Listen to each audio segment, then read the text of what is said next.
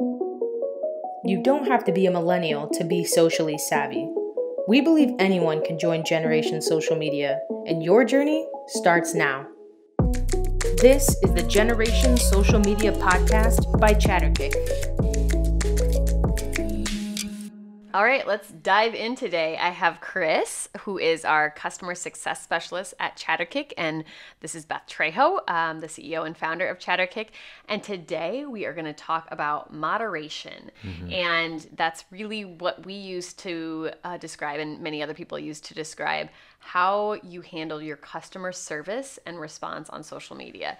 So let's talk about that. Um, Chris, why don't you start out by telling us some of the things that you hear from clients or businesses in terms of why it matters. Why does response matter to most businesses? I think for most of the people we work with anyways, it's it's just that's how they connect with their customers or clients. I mean, a lot of social media is putting yourself out there, but then when you actually get some feedback, some comments back, positive or negative, I think responding to that and having that dialogue, that's really what it's all about. And when it's positive, it's great, and it's you, can just kind of keep, you know, egging them on or keep that going. But when it's negative, it's sometimes scary. It's like how do we deal with this in in the best way possible? And I think that's where we obviously come in and help people out with. But like you said before, I mean, it's a lot about it's just about that relationship building and keeping that going. And it's not always the highs. It's it's there's some some dips and there's it's just how you present yourself and present yourself as a business again on that that platform that social media yeah i read something the other day i thought it was really interesting that um, you will not be judged by your successes and your failures but how you react to your mm. failures you know what sure. i mean and yeah. i think that, that just like crosses social because everybody's gonna mess up, right? Like we're gonna mess up, our clients are gonna mess up, every business is gonna mess up at some point. And so how you respond to that is seems to be the make or break in a lot of the digital world. Mm-hmm. Um, I know some of our clients have um, found a way on the response and moderation to help prepare for that.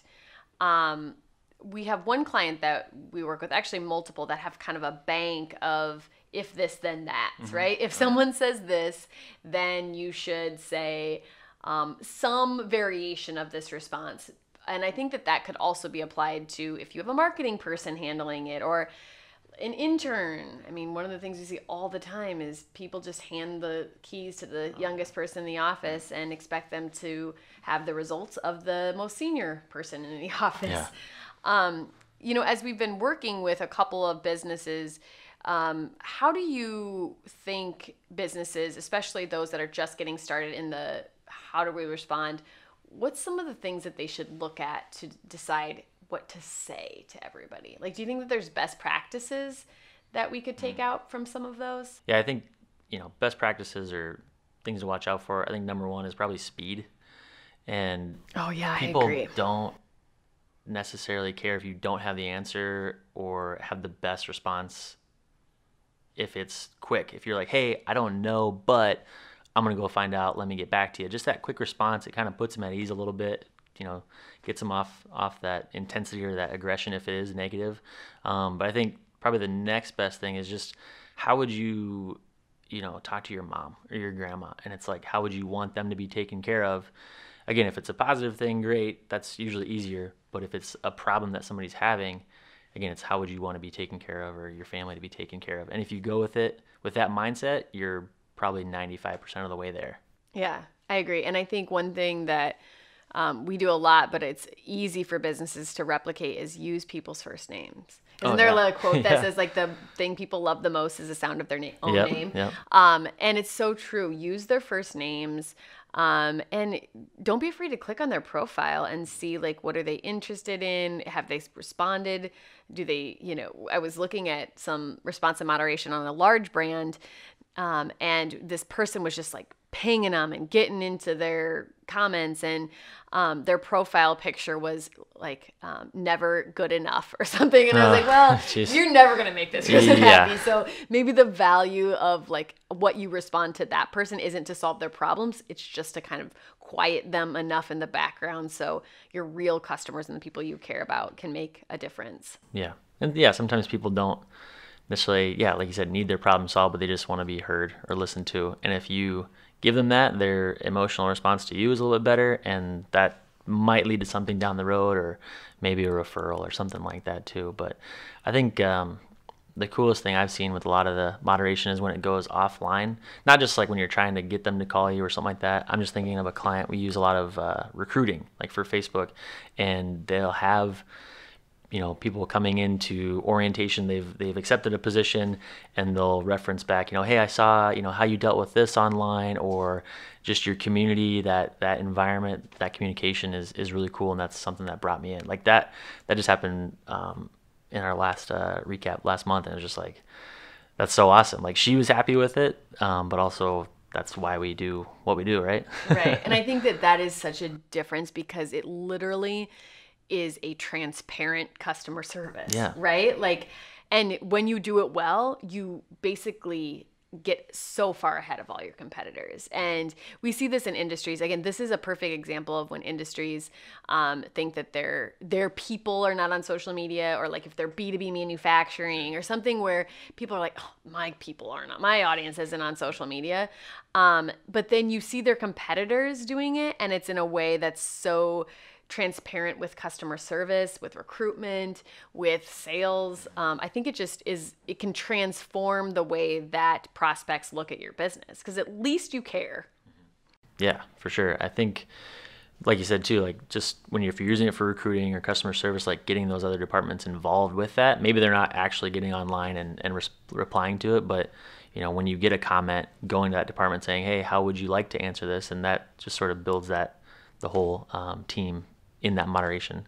I think another thing with the moderation too is just the data you can collect from it. Like individual responses are important themselves, but you can see a trend over time. Like, are most of our responses positive? Are they negative? Are they surrounding this? Like, you can kind of get some feedback into your business, like, hey, we're missing this consistently. Let's build that up.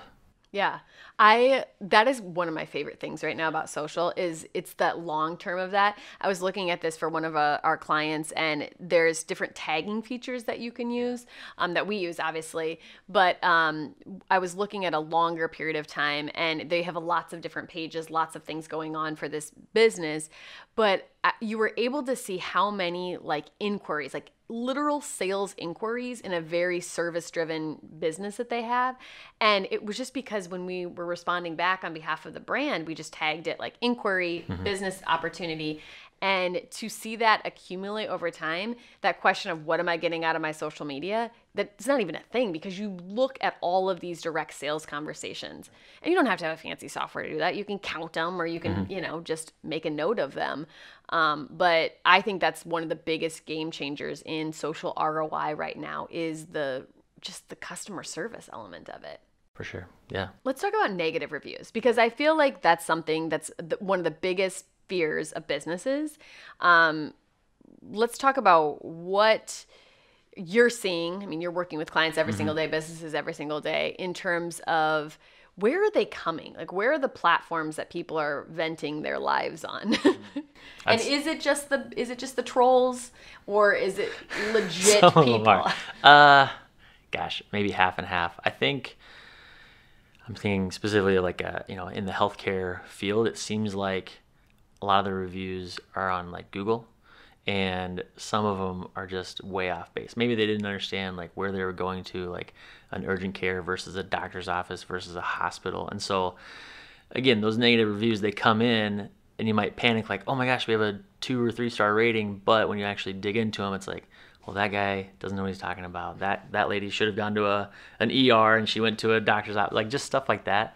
Um, that's more healthcare, I guess, but probably across the board more so with Facebook, just because it's kind of built in. You can comment, you can leave a review.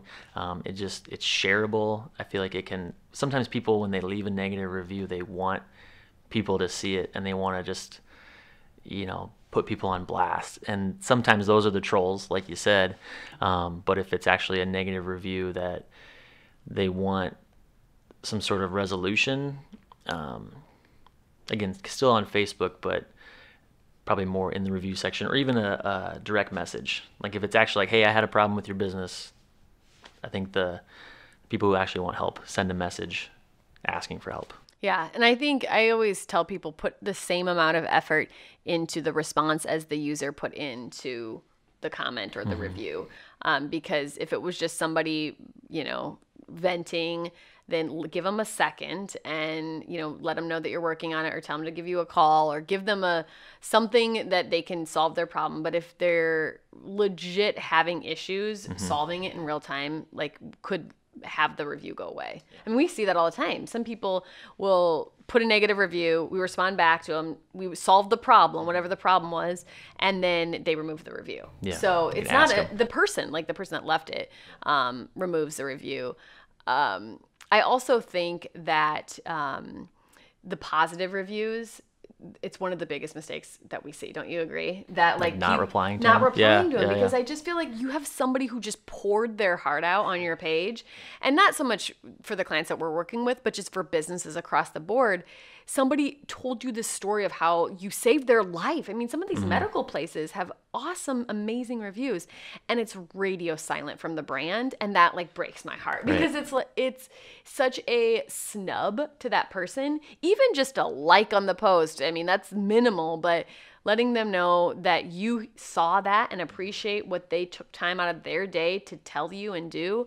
Um, I think that that's like social media 101. And if you're not doing that, you are missing not only a big opportunity to just show some some love, but to tell other people that thank you. Right. Like, you know, it's a great opportunity. Yeah. You could even take that a step further. Like I've seen it's not a client of ours, but I think maybe Wendy's or something like that. Somebody left like an insane review. It was kind of cheeky, it was funny, but it was a positive review. I think they gave him like nuggets for a year or something like that, something silly.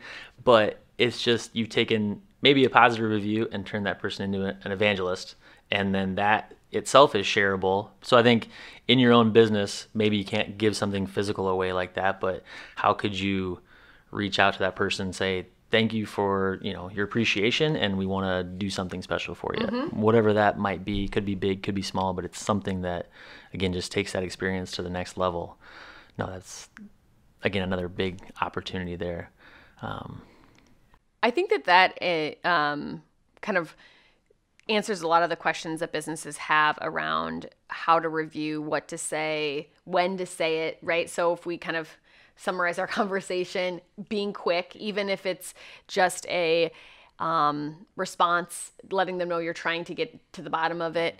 Um, be real and authentic. Use their first name. Give them your first name. Um, that makes a big difference responding to both negative and good reviews in a appropriate manner. Um, and then I think the other thing, and you touched on this, but um, you're gonna get them. You're gonna get negative yeah, reviews. They're the best businesses, 4.7 is the best rating because people expect you to mess up. Yeah. So don't be fascinated or like completely obsessed with your negative reviews just deal with them as as they come in and don't forget about them like have a place that you have all those reviews coming um, because I think they are going to even be more critical to your business going forward than they are today. One thing we didn't mention with that, um, I know on Facebook with the reviews, say it is somebody who is just trolling or just, you know, they're not really being reasonable.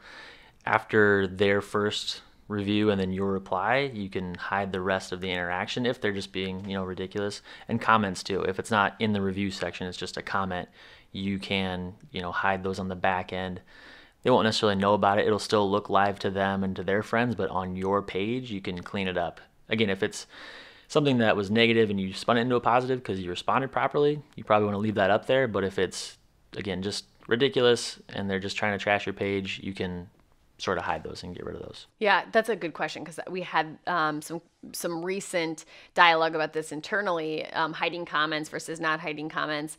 Um, I am on a under the impression of a case by case basis because we have seen this in the past where you start hiding comments and people blast you for hiding the comments right. and then it looks like censorship, right? So you don't want it to look like you are perfect, but there may be a case where those hiding the comments is the right way to do it if they're not adding value. Like you said, the crazies out there, mm-hmm. we all know that people do that stuff and they just want to be ornery, right? Like right. it's just that's that's their goal in life. Um, but I do think from a PR perspective, and we've seen this happen. Applebee's had this a while back. Um, there were some big brands that have had pretty significant case studies. You you have to be authentic, and the Yeah. second you don't look authentic and you look like you're trying to do something shady, the whole PR perception of it is gonna kind of bite you in the butt. So. Yeah, people figure that out. They figure it out real quick.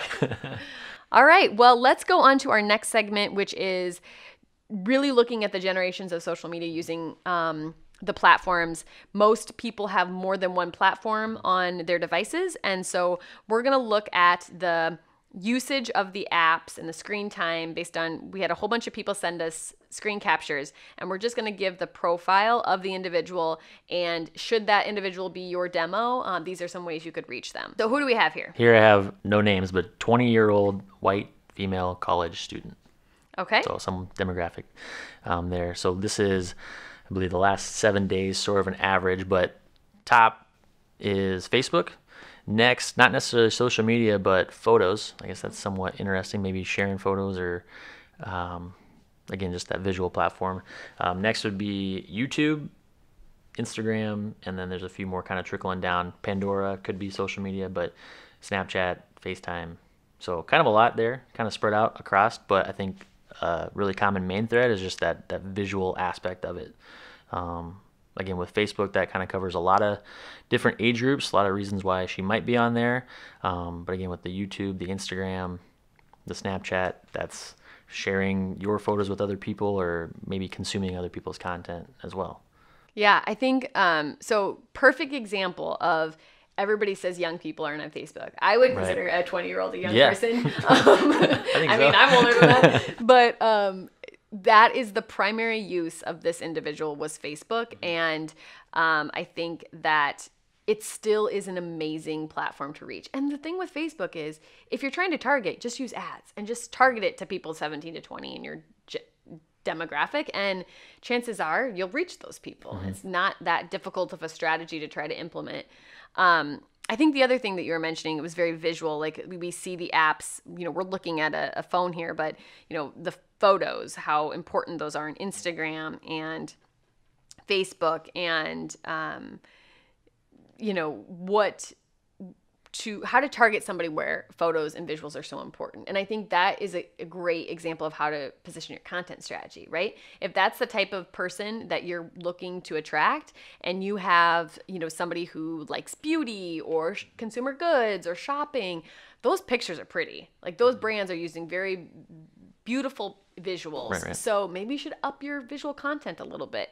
Um, could really help to distinguish between a, you, a local business, and another local business um, that you're trying to compete with in terms of attention. Yeah, I think yeah, stepping that game up that way, but also going the other way is look at what are sort of the common threads along amongst like what they're looking at, and then try to maybe disrupt that a little bit. So if everything is pinks and pastels, maybe like a shocker, you know, blue or orange or something like that, just to jump out at them a little bit more too. Mm-hmm.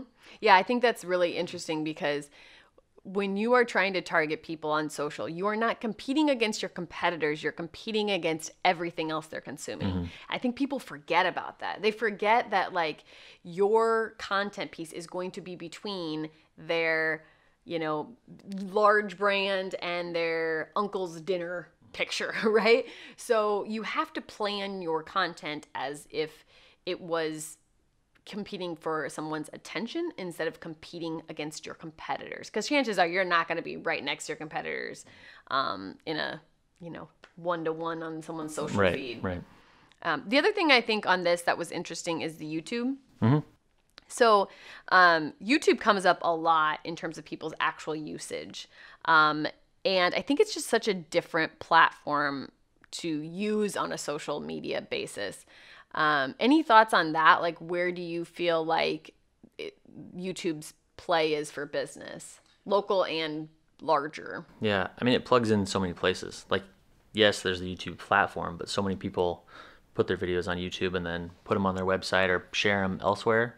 And so I wonder, you know, exactly if that's in the app itself or on those other places. But I mean, you could you could link back and forth. I mean, you can obviously put ads on YouTube and put your own content there and try to draw people back to your website for that different experience. I think a lot of times you know, you're looking at how can we get our content and make it fit into this box of this platform.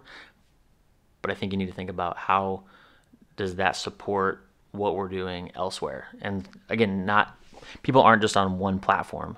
And so how could we reach this person in a way on Facebook that would either get them to YouTube or have YouTube support that experience on Facebook and Instagram and Snapchat, like just that cohesive experience. Yeah, agreed. I think that's a some good advice that um, I people need to think of YouTube in different ways, and they probably are just like, oh, I need to get my videos on YouTube. Like that's yeah, mm, yeah. that works enough, but I think having some sort of a plan, like you said, whether it's in your website, it's you know, it's it's the place your videos live that support your other channels, or maybe it's your how tos. Only your how tos live on YouTube.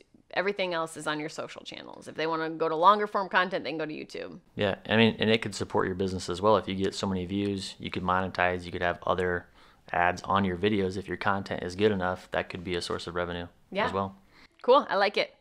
All right. Well, thank you everybody for joining us. I think we had some good conversation on moderation and how to handle your online communities. And we'll check back with you next time.